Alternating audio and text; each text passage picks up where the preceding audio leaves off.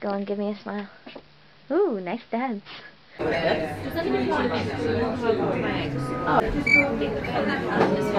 Hesitation on it, so I'm quite used to talking it through. Okay, right. So We're going to try our best to make you even more famous. Aren't we, Jazz? she deserves it. This is Jules, everybody. and then I go somewhere slightly. So And this is her designated driver. I'm Sophie. Today, we've been joined by someone who went viral very recently on CrossFit because she's a superstar. So today's episode actually started when I was sat here, just doing a bit on the computer, working away, and I got a notification from Jules that she had tagged me in a reel. I sat there, I watched it, and I was like, this lady is part of this team and this community, and she has an incredible story that needs to go worldwide, and how, how can we do that? So I reached out to, to CrossFit, because I knew I had a direct line, and they, they got back to me. Shared her story on their page, and they plan to do stuff with her in the future, which I'm like, yes, all right, let's get this rolling. So I was born when mum was 17 and then my dad died in a car crash when they were 18. So yeah, yeah well you were 19, he was 18. Um, so the stress of that we think caused Parkinson's to start in mum's brain because it's always there if you you're going to get it you're going to get it and it'll always be there in the back of your brain and a stressful event can bring it on. So yeah, death of my dad probably brought it on and your toe started curling in, which is actually like stereotypical Parkinson's um, symptom. And so that was at 19, and he just kind of got worse and worse throughout my childhood. There were ups and downs, and um, like different things helped and different things didn't, and there was just like a general lack of balance, coordination. perfecting penguin dive. Yeah, How many years have you been perpe- perfecting the penguin dive? fall and slide. My top half would go, my bottom half would just wouldn't be covered. I'd oh, at least, oh, how long? About 16, 17, 17 years. And you've got, you've got your happy legs at the moment. Yes, my happy legs are going. We were saying Jack's uh, he's perfected the prawn over the last couple of years, especially in the front squat. But you perfected the penguin dive. yeah, Oh, hold on, hold on. You missed it. I missed it. Craig. I'm, I'm, I'm, yeah, penguins and prawns together. penguins and prawns. We're basically SeaWorld. Yeah. Jazz is done with being social already. Oh, don't make me feel like that. I'm doing my go on. You've been doing loads of qualifiers recently, and one coming up has cleans in it, so you wanted to do cleans. Yes, I do. All right. The next to you, so I can have look like I'm really small. Oh, we're just gonna have some fun today. Which is freezing of gait, which is an, another like stereotypical Parkinson's symptom. But because mum was so old, so old, you're so old. Because mum was so young, um, it just no, like no one seemed to think of Parkinson's. no, it never came. And you wanted to work out with us. Not really sure why. This means I've got to work out. Yeah. and me. You, are you vlogging as well? I am indeed. Your your setup is better than mine. We're going head to head. Is that what we're doing? Yes, that's what we're doing. Yeah. I'm gonna kick your ass. And then when I was 15, 16, uh, mum got a DVT in her leg, so, well, in her groin, so it went from belly button down to mid thigh, and then another one down in the calf. That's right. Um, and so mum had to have a hospital stay. And after that, when mum finally was able to leave hospital, we'd lost all mobility. It became pretty much a cabbage. Yeah, that was the cabbage era. So she couldn't walk by herself, couldn't really talk much, a lot as well. Um, couldn't scratch her own itches, couldn't feed herself. Um, so Sophie used to be there. yeah, and that's when I would put her to bed and then put her hair across her face and leave her there like that for the rest of the night because I'm mean. Um,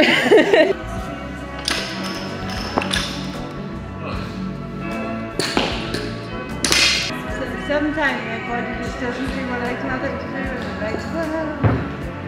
and I'm like,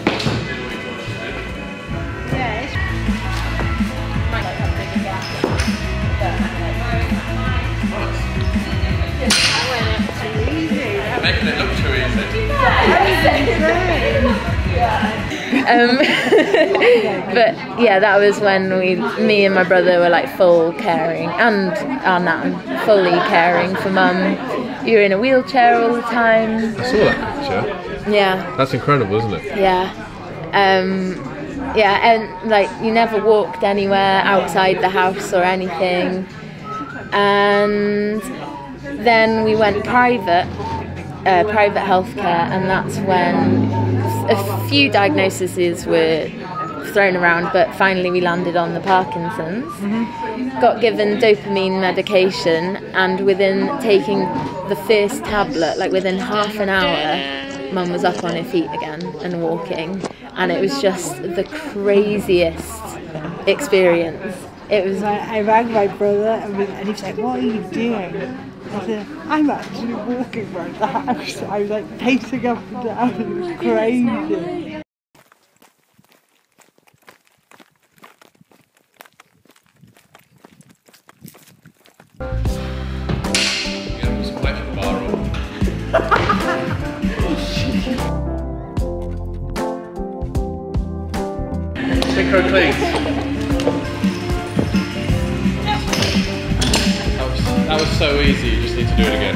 The first thing that I learned about Jules very quickly from doing the cleans was that sometimes her body does what she tells it to, other times she doesn't, but she doesn't quit. She gets herself back up and she just goes again. And the next time she makes it look so easy.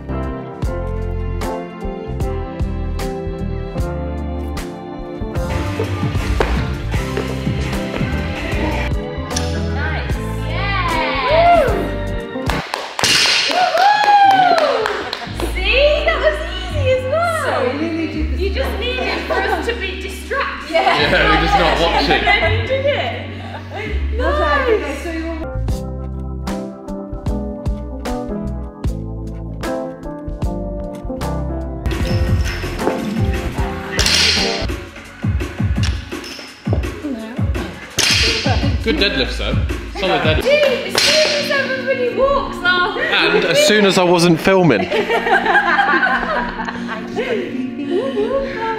I'm gonna have to steal it from your footage.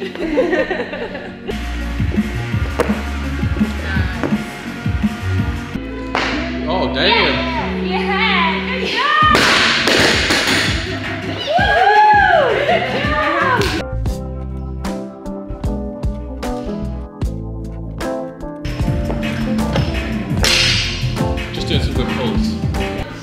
What are we trying to decide? Well, she just did a she just did a rope climb, pretty much legless the whole way.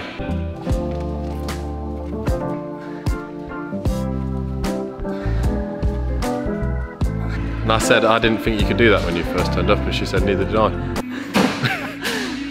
and it's one of the like, for me this is, uh, for me this just makes me smile, you know. Going from being unable to eat and look after herself to climbing a rope. Even she didn't think she could do it, and she did it. Ama- Amazing. Woo! do half one. That was That's crazy amazing. good. No, Bi- you've gotta do biceps for days. Now I've got to do one. Yeah. it's been a while. Okay, can you remember how to do a rope? Do you know what a rope climb is? Of course I do. Remember, you just got to do a massive jump, innit? That's cheating. I lapsed it a week and I pulled with my biceps. So Well, I was looking at the guns. I was thinking, "Oh, she got a license for that." Uh, put that down. And we got the Biscoff no cream. Yummy. I couldn't get cream and a Correct, the others might be a moment. Just, just went for the marshmallow. Mum, can I have your flame? Well, your relationship has blossomed. Mother, daughter, best friend duo. Thank you.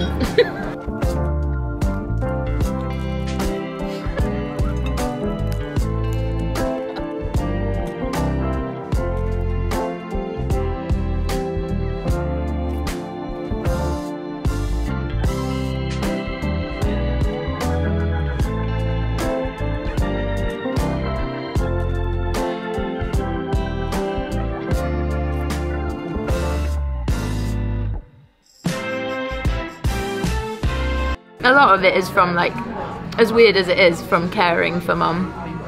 We've been on like a different We haven't got like the hierarchy of mother and daughter. Okay, stop talking about story now. The hot chocolate's more important.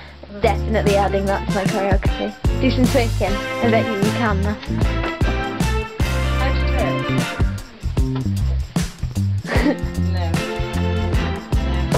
Do the.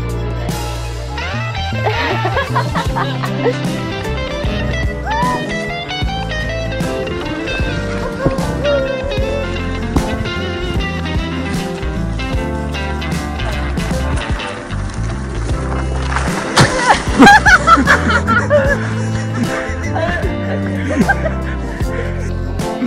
excited legs are going and everything under the table.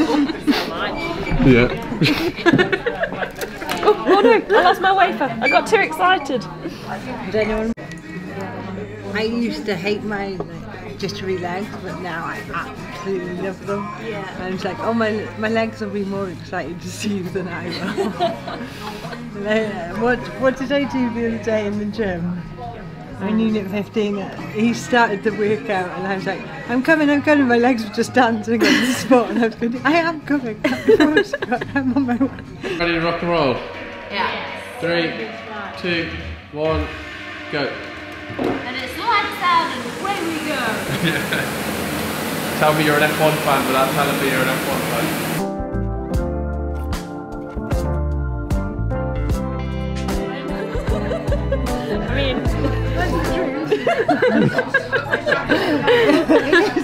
What did you ask? Um, I said, I asked at the point at which you couldn't really move or talk, did you think that that was it? Did you ever see a way back from that point? There was one day that I thought my life was over basically. Um, I'd been to watch Iron Man of all things and um, I, my, I got really, really tired and just thought, oh, I'm in so much pain. And so I asked my mum to pick me up earlier because my friend had taken me. And uh, I was going home and I was like looking at everything and I was thinking, that's the last time I'm going to see a tree and like taking it all in, just so content with myself. And then I got into bed and gave my mum the biggest hug ever because I thought that was the last time I was going to see her. And uh, oh, I am going to go shortly. Um, and that was the only day that I thought there's no turning back. But then I woke up, so I'm still here. And that's how I see it. It's just that, just only one day that I thought it was over. And it was, We can't. We said we wouldn't cry over a hot oh chocolate, but we're gonna cry over a hot chocolate. Can't, we can't cry when there's hot chocolate around people. Okay, focus on the hot chocolate. drink more. Drink, drink, drink. Okay, I'll drink. If she tells me to drink, I'll drink. Down it, sugar rush.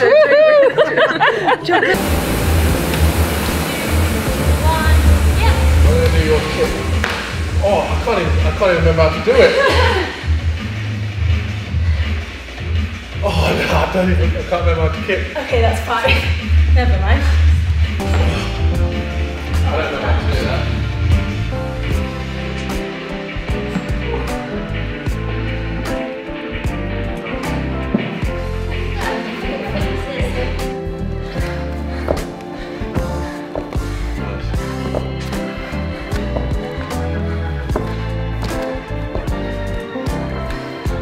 I feel like you've made a light of it.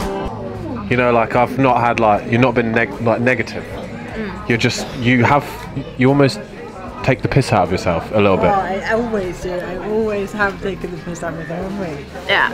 I far rather people laugh at me than go, oh. every fall we laughed. Even when mum dislocated a finger and it was turned the other way because of a fall, we still laughed. They Like both we came out and went, oh, I can't deal with that. I was like, I can't look at it, I can't look at it, I can't look at it.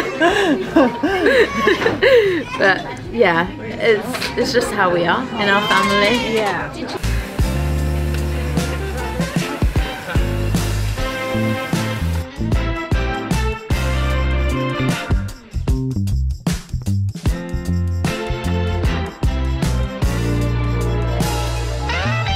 So we did, before you'd ever done CrossFit, we did Strength in Depth pairs because they had adaptive. And I was like, oh, just come do this with me. and that's when he started CrossFit. Then after mm. that, Yeah. Yeah, How many years was that? One year One this year. September. What? I know. What did it feel like walking into CrossFit? Oh, you know, I think you found it scary. really scary. Yeah. Everyone was like really fit and really strong. Yeah. And then you get to know them and you're like, oh, they're all teddy bears. It turned into my family. yeah. What a, And now you're doing all the competitions when you never thought you'd do the competitions. no, I didn't. I'm doing Barcelona, but Marbella, you name it. Yeah, and it's a great platform as well to tell my story and show that people can stop, can start when they've got a diagnosis, exercise and all that, can't they? She pushed me on the bike, but then on the last one I sent it. And she came off the first, we're doing 250 metres each, and she came off and she went on the floor and I went, uh oh. He killed me. I I was like, please no, get back up. I need you to do the last 250. What is your message to people? What do you want to tell people? The people at the end of this vlog, what do you want? What do you want to tell them? Life doesn't have to stop after diagnosis. No, you- Life doesn't have to stop after anything bad that happens to you. Just pick your head up, keep going if you can. Take time. Sorry, I'm taking over. No, you can't. That's great. Life can actually begin after diagnosis. You can start all the adventures then.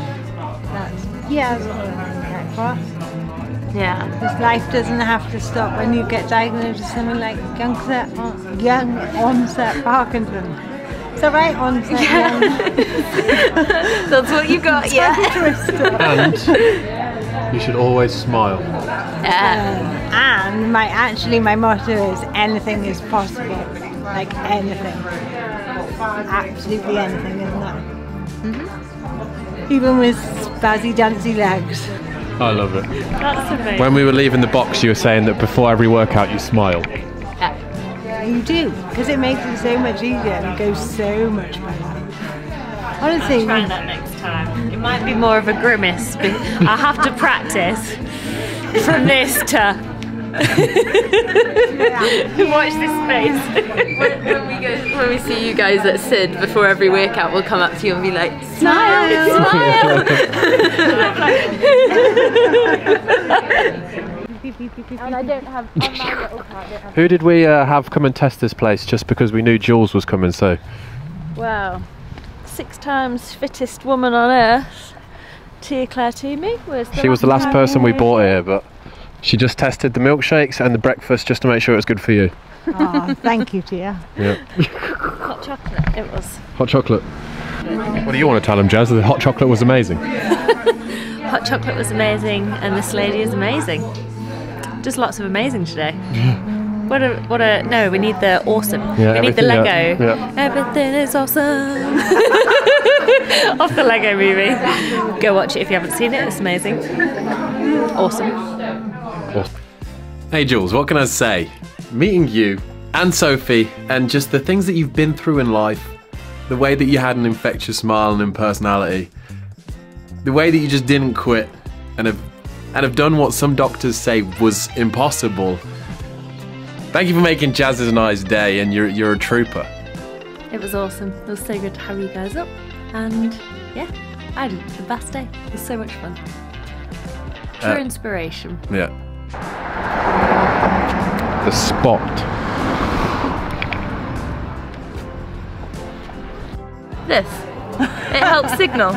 If you wrap your head around the phone around your head, it gives them no way. Yeah, that's what it. I mean, I've not heard of that since I was like probably at school, but yeah, back in the Nokia days, four times around the head, and honestly, it used to And a throw at the floor with a Nokia. No, no, I'm not joking.